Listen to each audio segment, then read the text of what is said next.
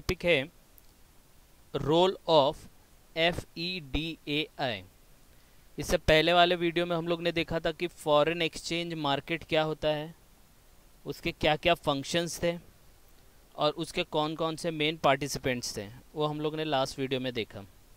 इस वीडियो में हम लोग देखेंगे role of F E D A I इसका मतलब क्या होता है क्या क्या करती है और इसके क्या क्या फ़ंक्शंस है मेजर फ़ंक्शंस है, वो देखेंगे। तो सबसे पहले इसका फुल फॉर्म देख लेते हैं। F E D A I stand for foreign exchange dealer association of India ये जो है, ये एक एसोसिएशन है। किसका एसोसिएशन है? फॉरेन एक्सचेंज डीलर जो फॉरेन एक्सचेंज में डील करता है। जो फॉरेन एक्सचेंज में डील करता है। अभी आपको मैं बोलूँ, आप मुंबई में हो मुंबई में फॉरेन एक्सचेंज में डील कौन करता है? ऑफिशियली तौर पे फॉरेन एक्सचेंज में डील कौन करता है? कमेंट करो। फॉरेन एक्सचेंज में डील कौन करता है? फॉरेन एक्सचेंज मतलब currency of different countries yes foreign currency में डील कौन करता है? अगर आप मुंबई की बात लो तो। आपको यूएस से जाना है। यूएस से जाने के लिए डॉलर चाहिए तो डॉलर कहाँ से खरीदोगे? राशन की दुकान से? बैंक से, बराबर है? हाँ वेरी गुड फॉरेक्स तो ये बैंक क्या है? He is the dealer dealer है कि नहीं? तो ऐसे बहुत सारे ऑथराइज डीलर होते हैं। उनका एक एसोसिएशन बनाया गया है, वो एसोसिएशन को हम लोग बोलते हैं F E D A I foreign exchange dealer association of India तो इसको शॉर्ट फॉर्म में भी हम लोग बोलते हैं ऑथराइज डीलर वो हम लोग देखेंगे। ये जो सेटअप हुआ था, ये सेटअप हुआ था 1958 में। याद रखना है डेटा 1958 में सेटअप हुआ था एज एसोसिएशन ऑफ़ बैंक्स क्योंकि जो फॉरेन एक्सचेंज में डील करता है मोस्टली वो बैंक्स करती हैं। तो it was set up in 1958 and typically it is called as A D A D का मतलब होता है ऑथराइज डीलर तो अगर आपको फॉरेन एक्सचेंज में डील करना है तो you have to approach bank और बैंक लोग ही ऑथराइज डीलर होते हैं फॉरेन एक्सचेंज में डील करने के लिए. तो that's why it is called foreign exchange dealer association of India it was set up in 1958 और इसको शॉर्ट फॉर्म में ए कहा जाता है. Next It is a self-regulatory body and is incorporated under section 25 of the Companies Act. याद रखो objective point of view ये एक सेल्फ रेगुलेटरी बॉडी है और ये कंपनी एक्ट के सेक्शन 25 में अपने आप को इसने रजिस्टर्ड किया है इनकॉर्पोरेट किया है. तो एफ़ ई डी ए आई ये एक एसोसिएशन है. किसका एसोसिएशन है ये? फॉरेन एक्सचेंज में डो डील करता है ये सेटअप हुआ था 1958 में और इसको शॉर्ट फॉर्म में एडीबी कहा जाता है। इसने अपने आप को इनकॉर्पोरेट किया था रजिस्टर्ड किया था सेक्शन 25 ऑफ़ कंपनीज़ एक्ट 1956 में। इतना समझ में आया? Yes sir no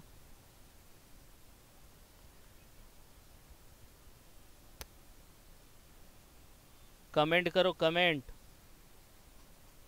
where is the third one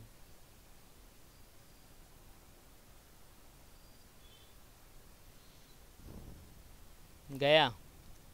Okay next F F E D A I major functions areas as follows इसका जो मेजर फ़ंक्शंस है, वो क्या क्या है? क्या क्या करती है? अगर ये डीलर है association it is an association of foreign exchange dealer तो आप इसके मेजर फ़ंक्शंस को भी ऑटोमेटिकली रिकलेक्ट कर सकते हो। जैसे अभी हम लोग का क्लासेस है तो क्लासेस का एक एसोसिएशन होता है राइट तो क्लासेस का एसोसिएशन है तो क्लासेस को फ़ीस प्रॉपर चार्ज करना चाहिए प्रॉपर सर्विस देना चाहिए, ये सब रजिस्टर्ड करना चाहिए। ये सब जो मेन फ़ंक्शन होते हैं एसोसिएशन के, वही सब main function F E D A I भी करती है। किसके लिए करती है? फॉरेन एक्सचेंज डीलर के लिए। तो मेजर फ़ंक्शन में पहला फ़ंक्शन है guidelines and rules for forex business तो ये जो है एफ़ ई डी ए आई क्या करती है? गाइडलाइन सेट करती है। रूल्स बनाती है कि कुछ भी अगर आपको फॉरेन एक्सचेंज में बिज़नेस करना है तो कुछ रूल्स हैं, रेगुलेशंस है, गाइडलाइंस है, वो फॉलो करनी पड़ेगी।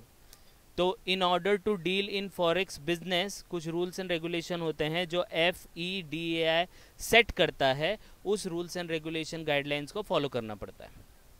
आ रहा है समझ में? Okay. Next is training of bank personnel in the area of foreign exchange business अभी आपको पता है बैंक वाले they are the mostly the authorise dealer अब उनमें जो काम करने वाले एम्प्लॉयज़ होते हैं तो उनको ट्रेनिंग प्रोवाइड भी करते हैं कि भाई, अगर फॉरेन एक्सचेंज में अगर आपको डील करना है in the area of foreign exchange business तो हम लोग आपको ट्रेनिंग प्रोवाइड करते हैं. क्योंकि इसमें क्या होता है कि currency of different countries are involve currency of different countries are involve तो हम लोग को कैसे उसको डील करना है? प्रॉपर ट्रेनिंग जो होता है, वो F E D A I provide करती है।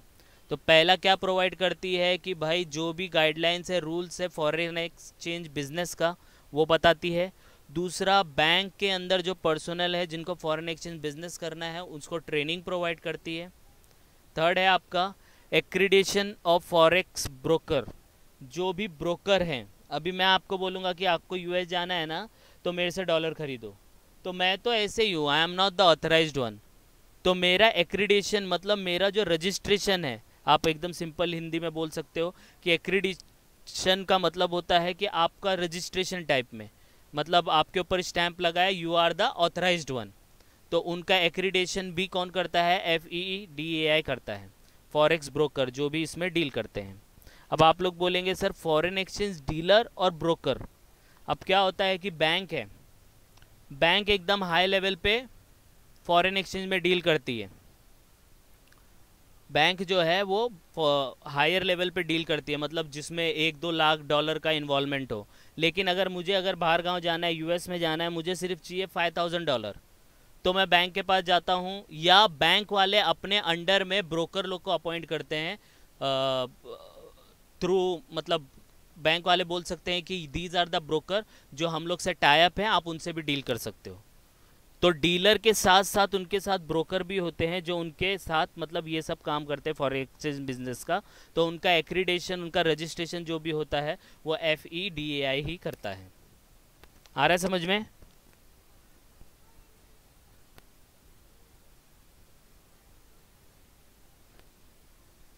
Okay next is advising and assisting member banks in settling issues matter in their dealing अब आपको पता है फॉरेन एक्सचेंज बिज़नेस में क्या होता है? प्रॉब्लम आता है, क्योंकि रेट जो होता है, वो फ्लक्चुएट करता है।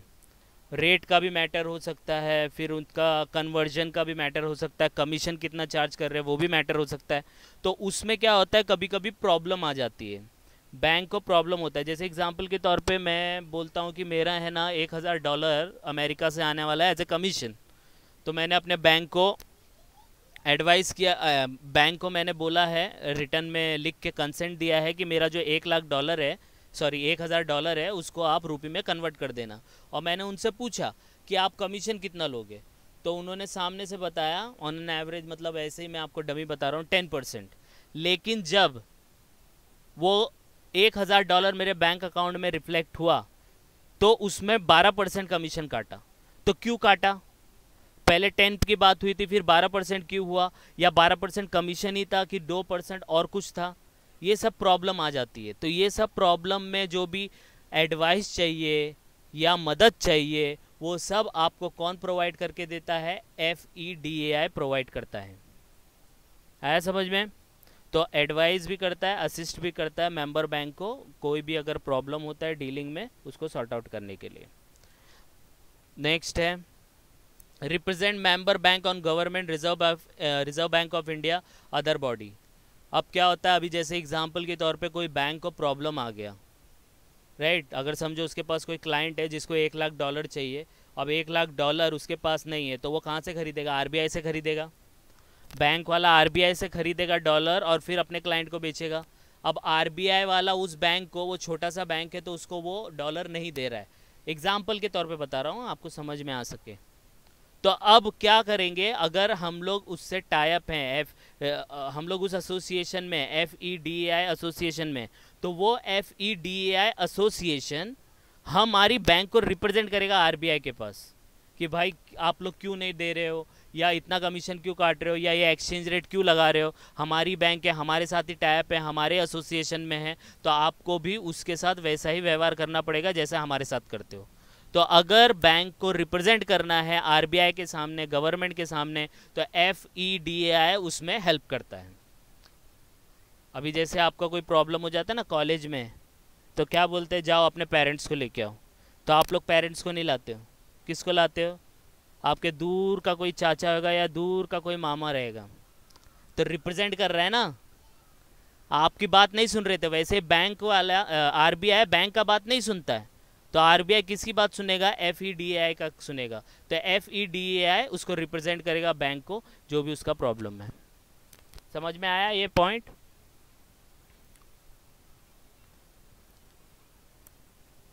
थर्ड वन किधर गया? सो गया? ओके मिलता हूँ। Next is announcement of daily and periodical rates to member bank अब आपको पता है जो ये फॉरेन एक्सचेंज का रेट होता है वो क्या होता है? डेली बेसिस पे चेंज होता है।